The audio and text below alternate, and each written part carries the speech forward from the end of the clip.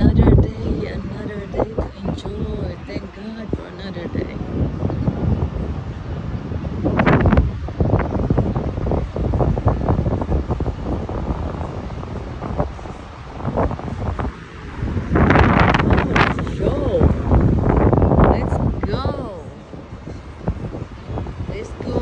Let's go watch the show.